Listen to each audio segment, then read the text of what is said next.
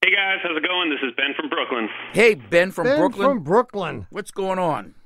Well, um, let me give you a little bit of background info before I uh, get into the the car uh, issue. Okay? Yeah. Sure.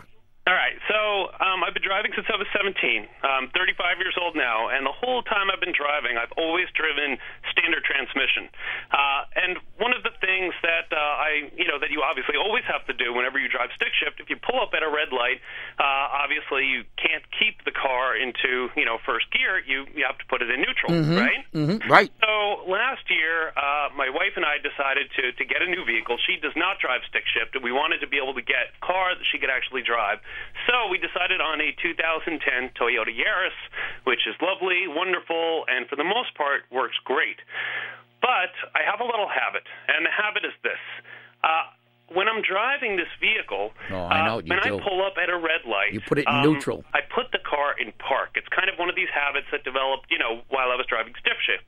Yeah. Now, for my wife, it drives her absolutely insane, and she's convinced that I'm going to break the vehicle Because you're putting it in park? because I'm putting it in park at red lights. She's saying Yeah. you're putting it in park so frequently that you know you're just going to wear down the transmission. No. Well, no, She's you, wrong. no, she's wrong. But but you you might wear out uh, other components. You could wear out the transmission, but you might wear out other components like the axles. Okay. You know, because every time you you transition from park to drive, you go through reverse. So you try to turn those things backward for a split second. So, and then and then you go into drive and they go the other way. Mm-hmm. And you know, you do that a few hundred thousand times, and it adds up. Yeah, but it's Gotcha, gotta gotcha. it's So- gotta be a couple of hundred thousand. Yeah, I would I would say, and it may it may do nothing. I mean, you know, back in the old days when Mm-hmm. engines idled at like 950 RPM, yeah, you would do a lot more damage. Now this thing probably idles at 500, okay. and it's got a tiny little motor, so you're not Uh-huh. hitting those those uh, drive train components with that big jolt of power. So don't worry about it. So don't worry, but but uh, but I am concerned that you can't get over this, Ben. Right. well, well, hold on here. There's one piece of information that I have not told you yet. Ah, go ahead. and, and that and that is that uh, about six months ago, I started having difficulty. Say one out of every hundred times I put the thing in park, if I'm at a red light, I have a difficult time actually getting it back into drive. Now, keep in mind this is a 2010 Toyota Yaris. It's practically straight off the lot. Um, so th- there is a possibility that my wife is right. I may be slowly breaking the vehicle. Is is this a possibility based on what you just told me? No, I don't think so. No, I, I think the trouble getting it out is that you're not stepping on the brake pedal firmly enough because you have to do that to unlock the shifter.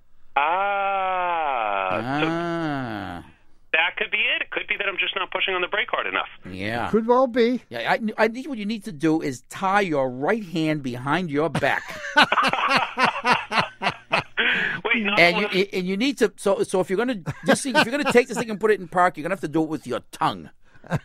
Yeah. Well, you know, I, I could Jimi Hendrix it there. You know what I'm saying? You That's could. a possibility. What else do you do that annoys your wife? I'm concerned here.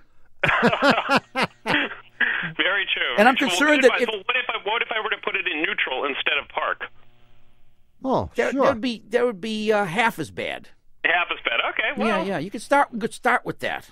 Okay. Gotcha. Gotcha. So basically, first thing is try to break the habit, and then the second one, try not to break the car. Right. It, it's like it's, it's, exactly. it. So so shifting it into neutral would be the equivalent of like chewing Nicorette gum. you're not really going to quit, but you're going to try. Gotcha. Okay. Well, try that first. All right. I'll try it, guys. Thanks so much for your help. All right, Ben. Good luck, man. Okay. Take care. Bye. But it may it may be that if he if he stops doing this, he's going to do some stuff that really ticks his wife off. yeah, Because he, he and there's no way to tell that. no, your wives never were able to tell. eight eight eight card.